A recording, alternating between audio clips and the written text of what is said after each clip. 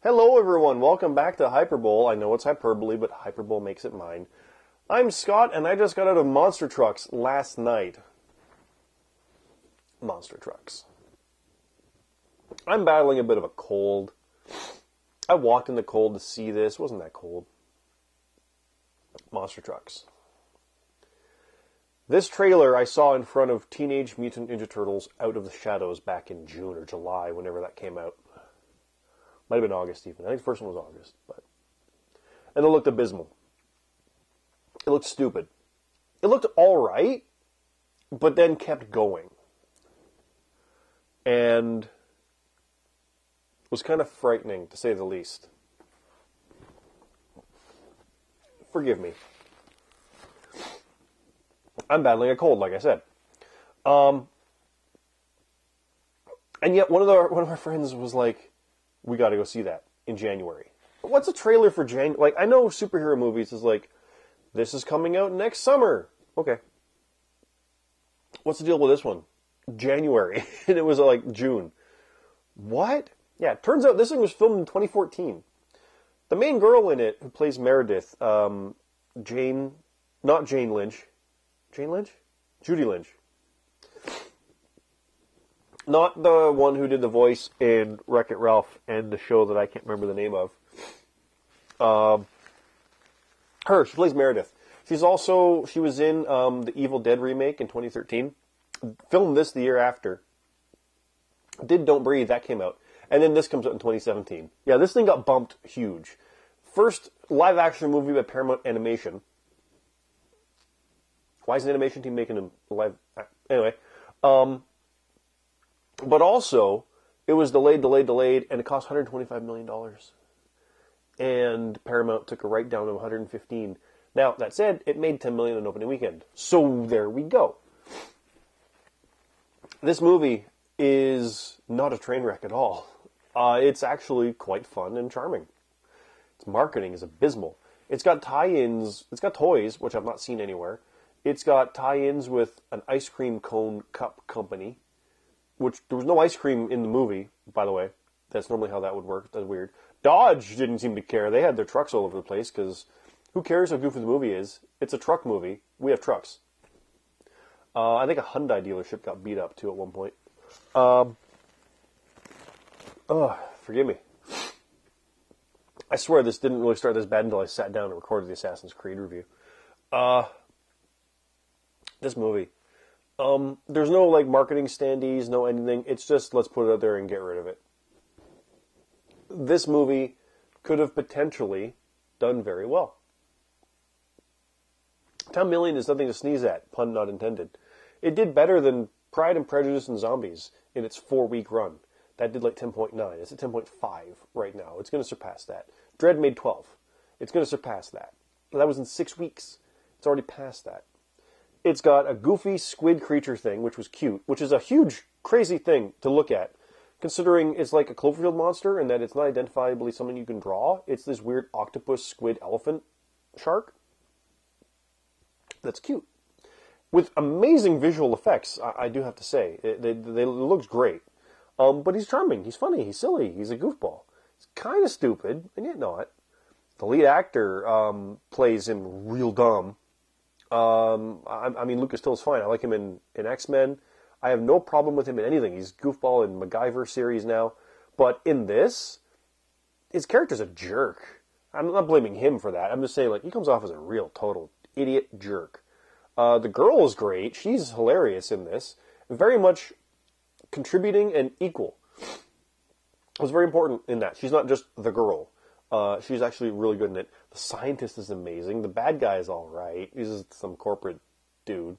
The other bad guy is great. At one point, just to show you how badass this guy is, something comes through the windshield and he just starts throwing elbows at it. Like doesn't really blink. He just okay. It just it goes for it. One of the best lines in it is like, "I'm 99% sure this is the bad idea." Someone else goes, "Maybe even 100." And even this line's like, there, there's a line in this movie. You're a good truck.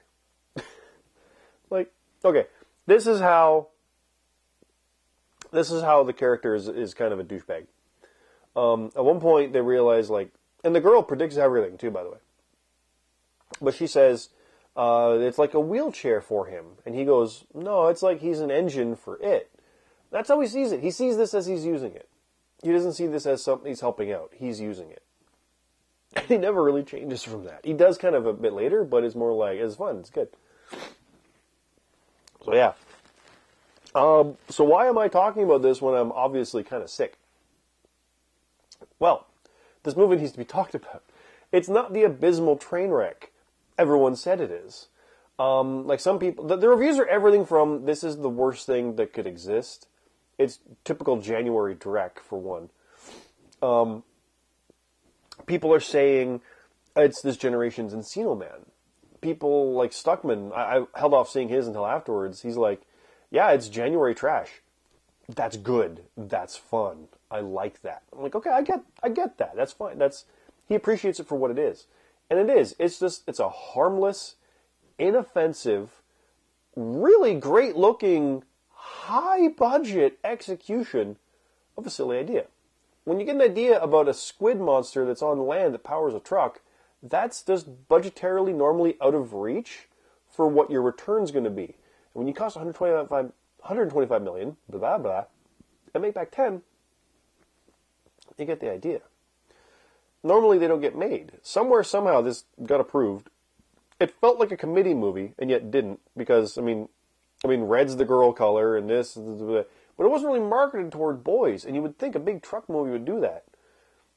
Nope, girl had a truck, and it's cool. Ironically, that might have been what hurt it, in that it wasn't aimed at the audience you would think a monster truck movie is made for. Also, by the way, Monster trucks. I heard about this in development since 2013, and I thought it'd be like this animated cartoon about Grave Digger and Bigfoot, and, and that would have been so cool. No, it's about monsters and trucks.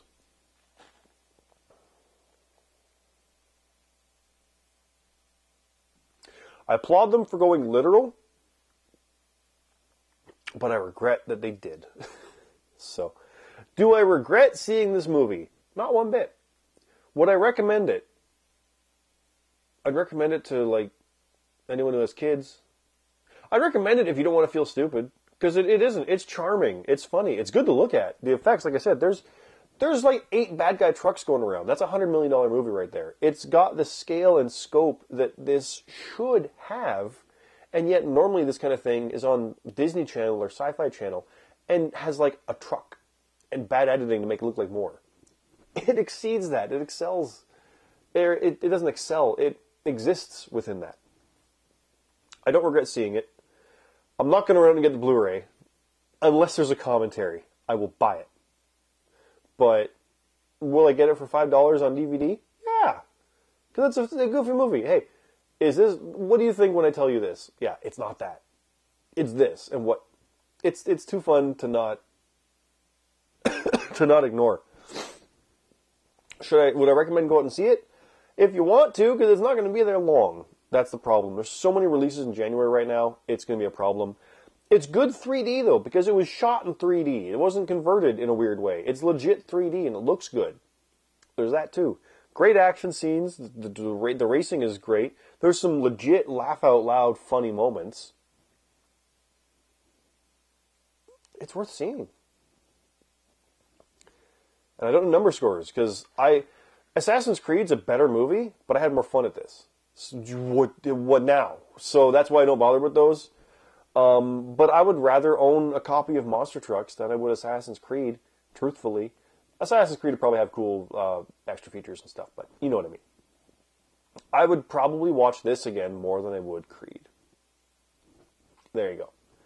So that's that. Speaking of watching stuff, this is on Cyclops Scott. It's GuiltyPleasureCinema.com, Guilty Pleasure Cinema on Facebook, Cyclops Scott here on YouTube, and over on Twitter. Thanks for watching all this stuff. There is some GPC stuff coming. I'm about to record something a little special. That should be fun. Aside from that, thanks for watching. See you next time.